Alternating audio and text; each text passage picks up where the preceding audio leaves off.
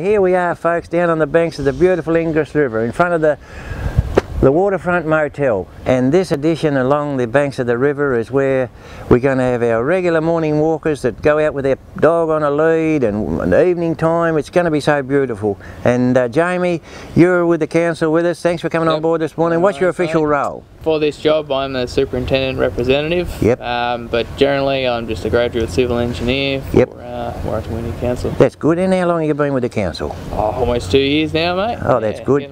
yeah good to be you're good to be involved in works like this Yep, love it. yeah Yeah, all the time. yeah so Fairbrother Constructions are doing this work Yep. Yeah, a beautiful job, and uh, I never imagined that it'd turn out like this. Although I expected a good job, but this Mm. it just it's it it exceeds all expectations. Does. Yeah, Brilliant. and uh, the uh, the view up the river as you walk along here of a morning with your dog, and uh, uh, and it's just going to be so good. And the visitors to Wynyard, when they come to the fish and chip shop, they're going to continue along here.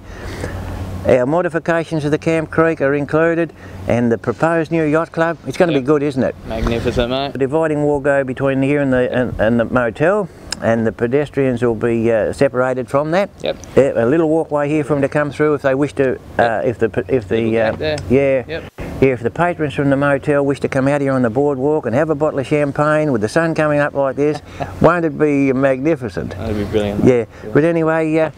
Along with this, what's happening at the other end where the timber framework is?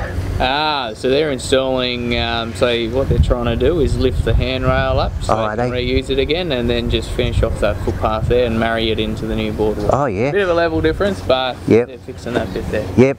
So we'll come along from Gutteridge Gardens onto the beautiful wharf. The wharf is a great asset. Yep. Link up here, go through here, over the new footbridge there. Taswater have got work to do there on Camp Creek. And what they're trying to do is relocate this rising main that they've got there Oh yeah. under the boardwalk. People will be able to sail along here with ease.